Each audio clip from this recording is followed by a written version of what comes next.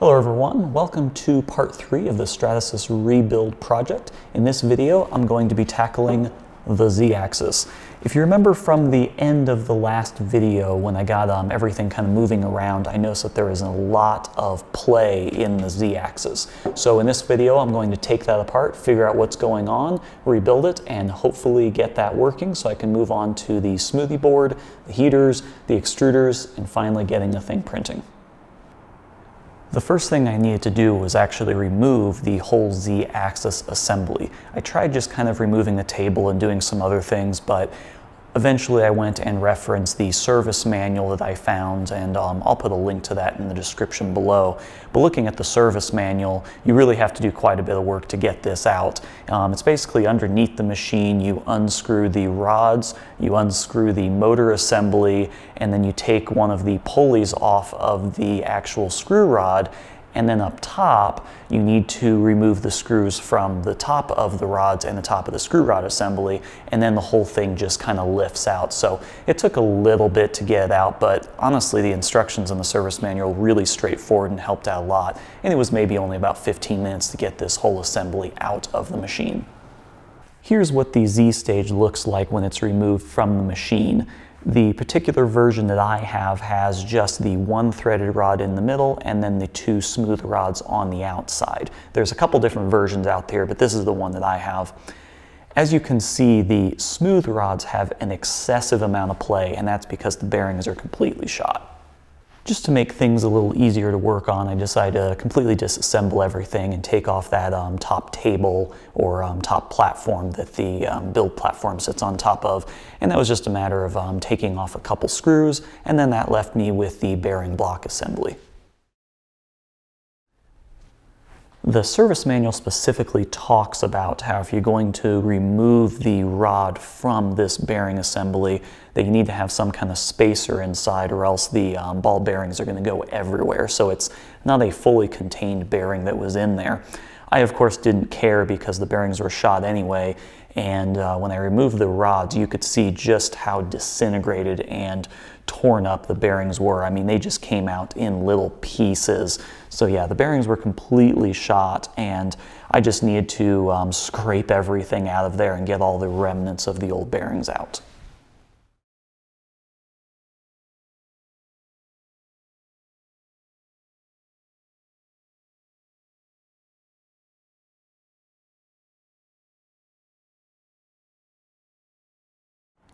Here is the bearing block with everything removed. Now, I know that the linear bearings need to be replaced, but what about the lead screw and the nut on the lead screw?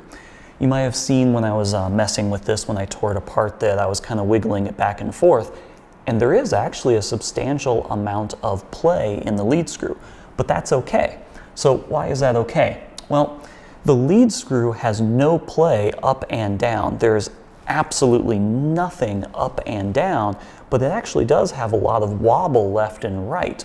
So if these two rods are doing their job, they're going to keep this bearing block perfectly stationary like this, so it's not going to move this way or this way. That is the job of these two and the two rails over here. So the only thing that this will do is move up and down. These can move freely up and down, but this cannot move up and down. The um, wobble that you see here is a function of the um, misalignment design of this. You can see that I can slide this top piece back and forth quite a bit and like that, this is actually just a separate piece that comes off like that. And then there is a slot here that corresponds on the bottom of this. So it's just a misalignment tool that this can actually slide this way and that way, perfectly perpendicular to that axis. And as long as this doesn't have any wobble this way or this way, everything should be fine. So I'm gonna keep this assembly. This is all perfectly fine.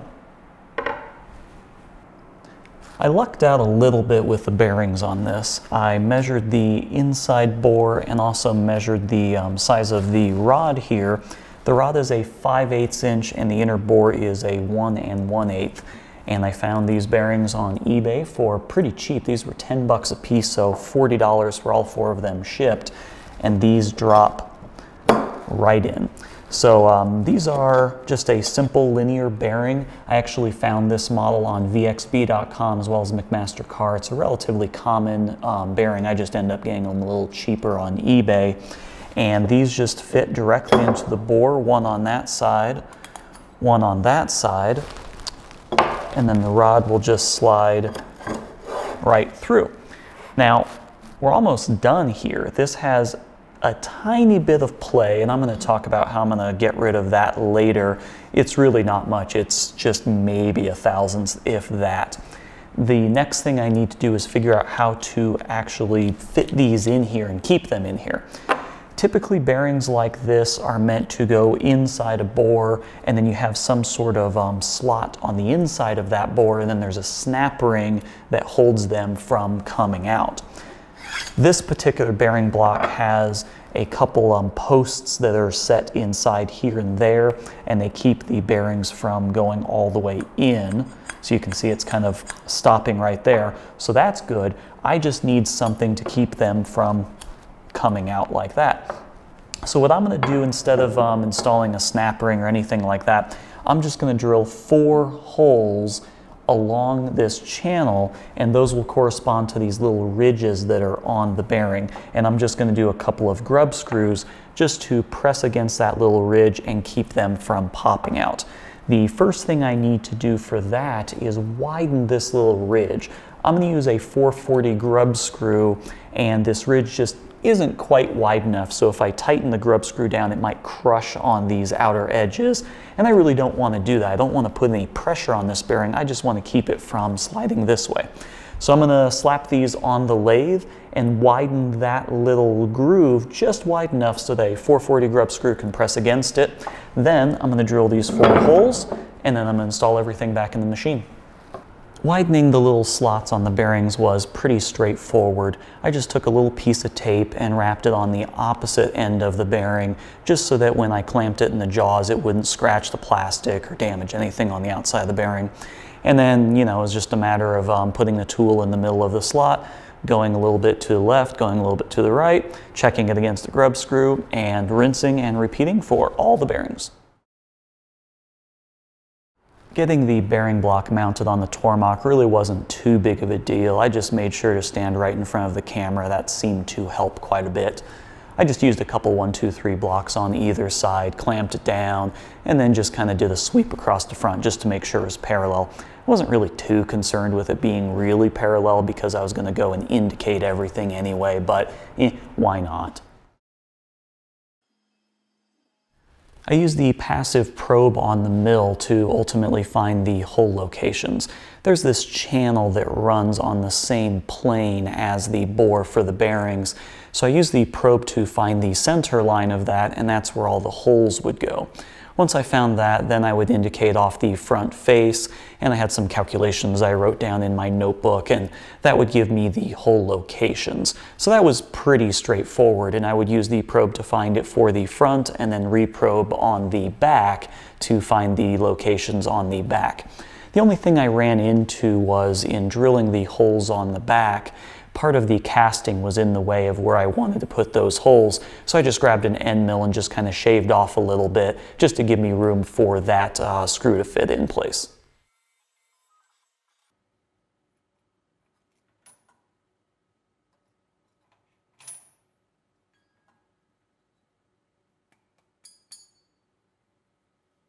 The only thing left to do before I install the bearings into the bearing block is to tap these eight holes. One little note about tapping holes. Do not do this at 9.30 at night when you're really tired and have been working on this project all day because you will break a tap like I did. I had completely forgotten how fragile a 440 tap is. I was going too fast, I wasn't paying attention, I end up breaking a tap, but really wasn't the end of the world. For that bearing, I'm just gonna have the one set screw instead of two. It should be fine. So here is the completed bearing block. Earlier, I talked about how there was a little bit of play in the bearings and how I was going to fix that. Well, let's look at this. So here we've got one rod over here, and then over here we have another one. And as you can see, they're very different. I can almost not spin this one. This one spins freely. I'm trying to get a little bit of play in here and there isn't any. And here, you can hear that there's a little bit of wiggle room this way. So um, let me show you what I did to get rid of this excess play in this one over here.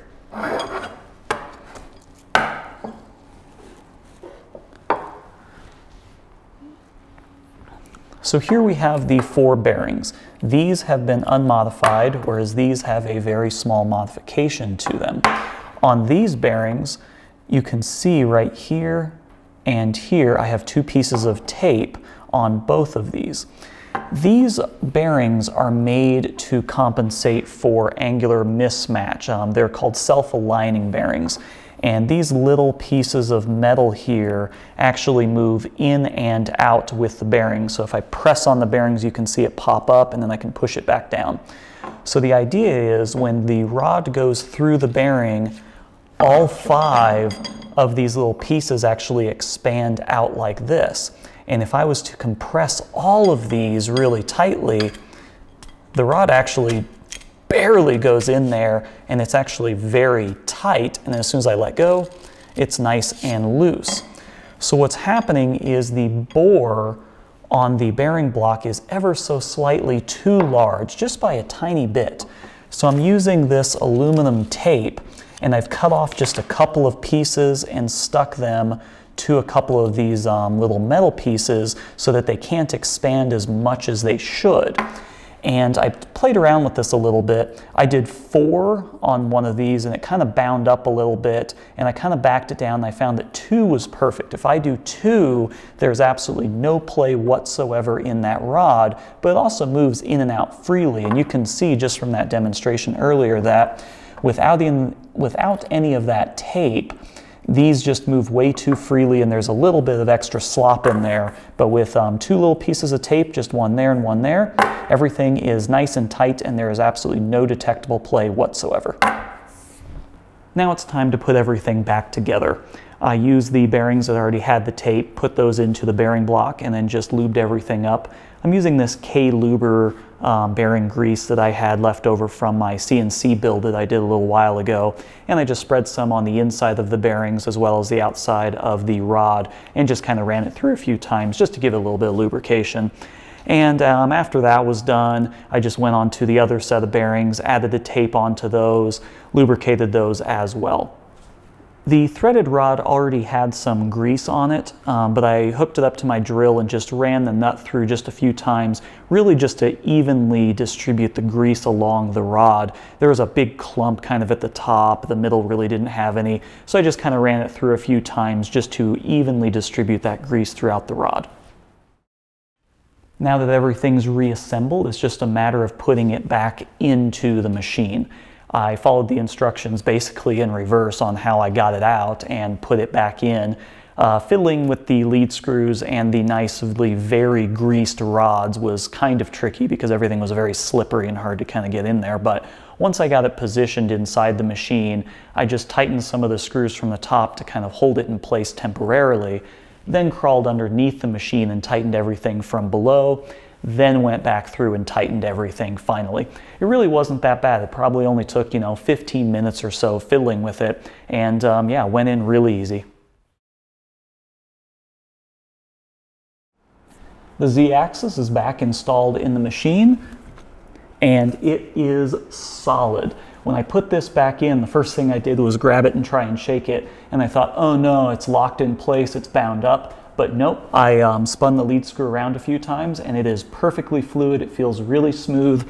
It is just completely solid in there. So that's a big win. The bearings did the trick. Everything looks good. Unfortunately, this was kind of diversion away from everything else on the project, but these things happen. So I'm just waiting for the Smoothieboard to show up. And as soon as that shows up, I'm gonna go and connect the Geckodrive to the Smoothieboard, start getting the heaters going, and start getting the Smoothieboard controlling all the motors. See you then.